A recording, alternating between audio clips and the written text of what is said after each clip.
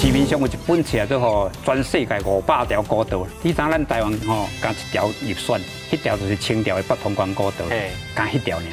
通常伫咧古道顶头，除了看到这个石牌以外，啊，佫会当看到什么看的位？一般来讲，土地公上济，然有看到山神庙，这甲咱这所谓这民间的信仰有关系吼。大礼拜二暗时九点，请收看公司台记台，这是台湾款。